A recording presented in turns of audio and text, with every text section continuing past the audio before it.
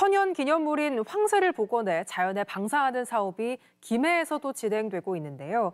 지난해 이어 올해도 황새 부부가 알을 낳아 품었지만 부화에는 이르지 못했습니다.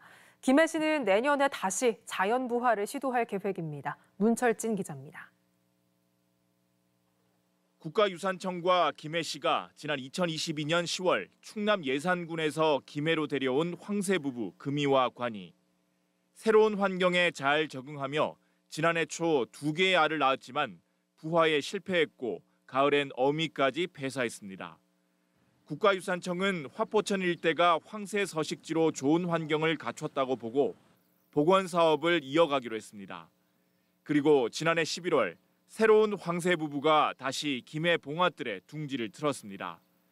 지난 2월 자연 번식에 성공한 황새 부부는 다섯 개의 알을 낳아 품었지만 부화에 이르진 못했습니다. 지난 4월에도 네 개의 알을 낳았지만 모두 무정란이었습니다. 국가유산청과 김해시가 원인 파악에 나선 가운데 황새가 교미를 하는 방사장 내 둥지탑이 다소 높아서 산란 과정에 영향을 줬을 것으로 분석했습니다.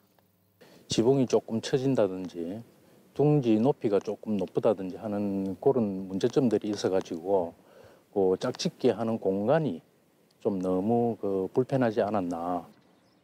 국가유산청과 김해시는 새로운 황새 부부를 다시 들이기보다 봉화뜰에 살고 있는 황새 부부를 잘 관리해 내년 초에 한 번 더 자연 부화에 도전하기로 했습니다.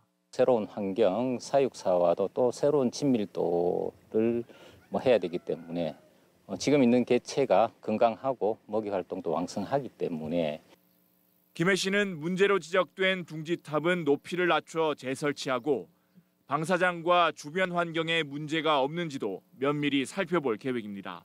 MBC 뉴스 문철진입니다.